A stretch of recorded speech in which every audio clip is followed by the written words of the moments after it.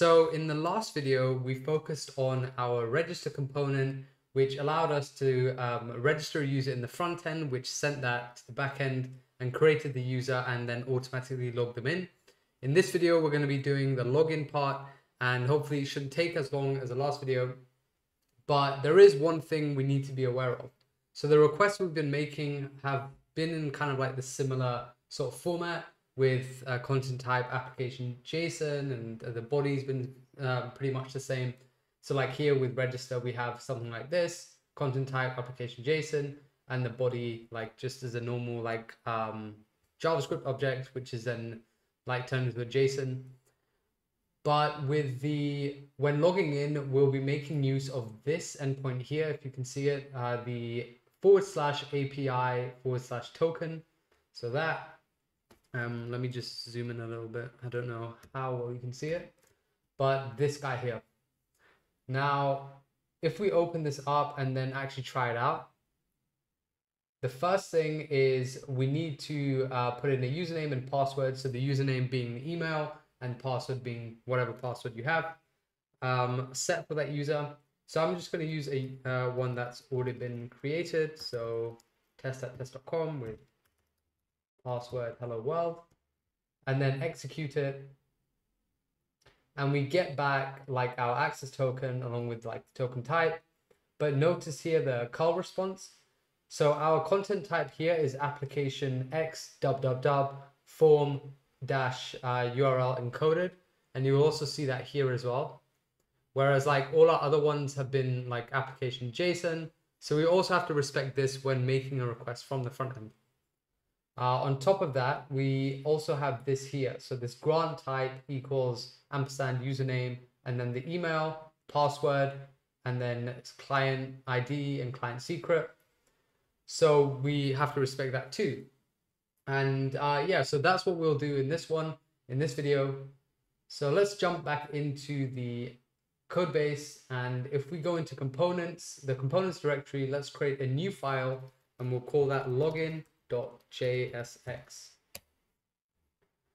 So it's going to be very similar to our register one. The only thing we really need to consider is our um, our fetch, our uh, the the request to the endpoint.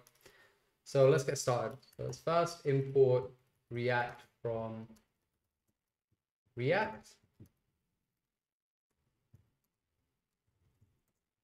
So, and we also need the error message which is automatically imported, and also the user context. So import user context from uh, context user context. Now let's go ahead and say the uh, create the uh, component itself. And we need the email and we need the password. So when the user submits it, they'll just be using those two. So what we can do is actually just go back into register.jsx and let's just copy these two. And then just paste that in. We need use state from React. Um, what else do we need? We need the error message, so this here, and we also need the set token um, function as well. So let's just copy that as well from register and paste it into our login.jsx. And with that, we also need to import use context.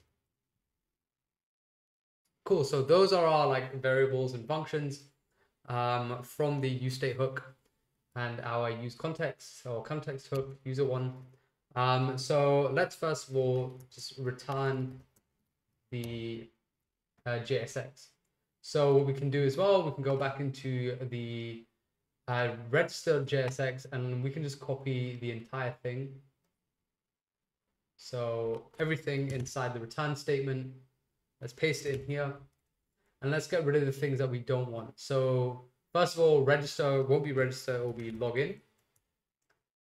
Um, we also need to get rid of the confirm password so we can get rid of this here. And just the button at the bottom, we can replace that to a login. And yeah, that's that. We, yeah, so that's our like JSX sorted. We need to like, uh, for some reason, I don't know why it's not throwing an error, but handle submit, we have to create that too. Um, our register JSX, yeah, we don't need that anymore. So yeah, let's go ahead and start writing that in. So as we did with the register uh, component, we can also do something similar where we create our submit login helper function. And this, of course, will be asynchronous. And what we'll do here is we'll do our request options and this will take a, method, the method type will be a post request. We also want the headers. And remember, as I said uh, earlier, so for, for our case with content type, we want it to be um, a the not application JSON, but the X dub dub dub form URL encoded. So make sure the spelling is on point, otherwise this will not work. So application and then forward slash X dub dub dash form dash URL encoded like so. And yeah, just if you're if you're a bit paranoid about spelling, you can just always copy it from this here. But yeah, that's our uh, content type. Now for our body. Now this we can actually copy because there's quite a bit to type in. So let's uh, put in stringify and then the backticks as we'll be passing in variables here. So what we want is this here. And this is again on um, forward slash API forward slash token. And the kind of curl command is this here. So we want that part here where it says grant type and then equals ampersand username equals the whatever email you passed in, password, all that. So just copy that and throw that in here. Now for the username, so this part here, we can get rid of that and what we can do is just replace this with a dollar sign, curly brackets, and then throw in email. And then with our password, we can also do the same thing here. So this uh, hello world, we can set to dollar sign, curly brackets, and then just the password. Um, yeah, so that's our kind of uh, request options or our requests that we'll be making, and that's what we're going to send to our forward slash API forward slash token endpoint. So let's do the response is equal to we'll await and we'll do fetch and we'll say forward slash API forward slash token. And then just throw in the request options. Like so. And we'll get the data. So data equals await response.json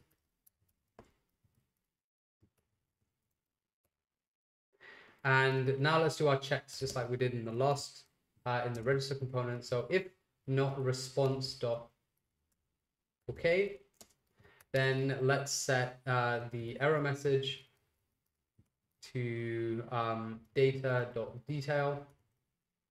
Oops. Else, let's set token to data dot access underscore token.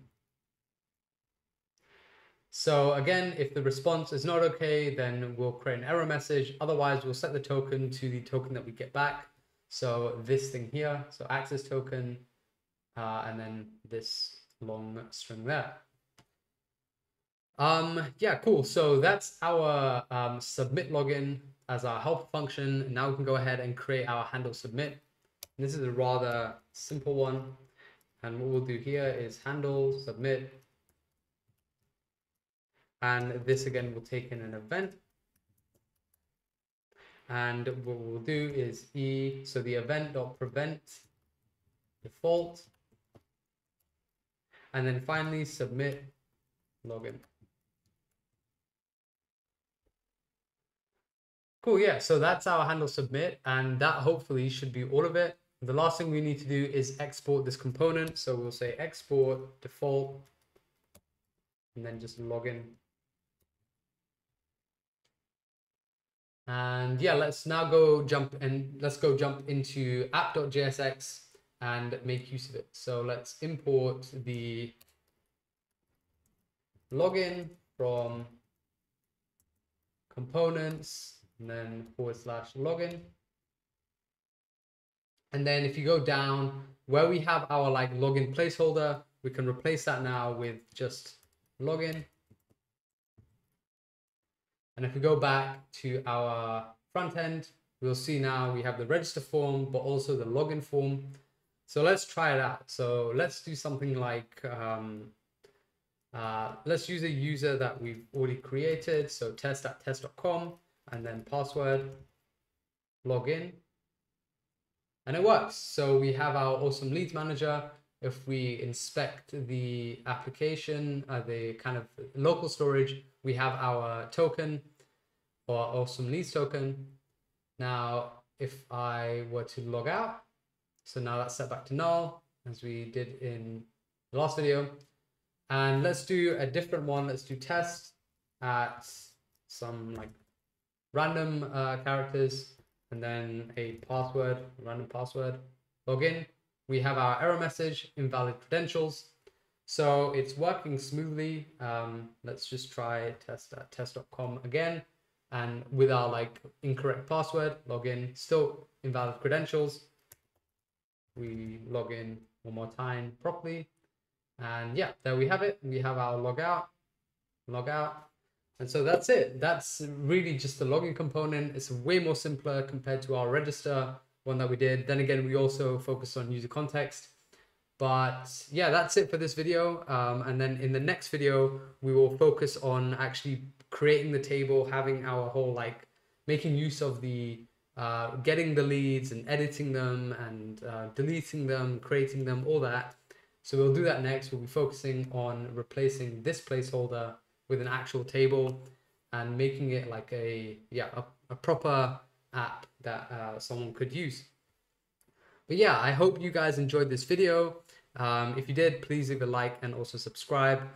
I have a Discord channel, uh, Discord server, sorry, so feel free to swing by there and uh, drop a message or any suggestions that you have for future videos.